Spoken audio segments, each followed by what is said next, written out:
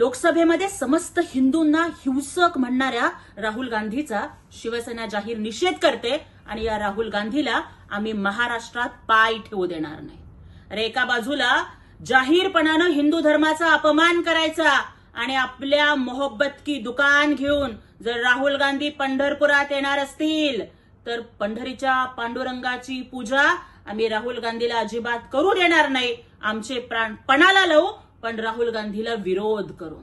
ज्या ज्या वेळेला काँग्रेसला ताकद मिळते ना त्या त्या वेळेला हिंदू धर्माचा अपमान केला जातो.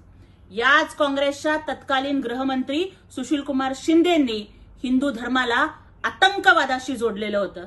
आणि हिंदू दहशतवाद आणि भगवा दहशतवाद हे शब्दाचे जनक ते ठरले होते. आणि आज पुन्हा राहुल गांधींनी काँग्रेसची हिंदू विरोधी मानसिकता उघड केली आहे. पण आम्हाला माहिती आहे. अल्पसंख्याकांची मतं मिळवण्यासाठी चटावलेल्या उद्धव ठाकरेंची जीभ या विषयावर काहीच बोलायला धजावणार नाहीये. आम्हाला माहिती आहे संजय राऊतनी आपली लेखणी या लोकांकडे घाण टाकली आहे खुर्चीसाठी आणि त्यामुळं सामनात या विषयावर अवाक्षर सुद्धा लिहून येणार नाहीये.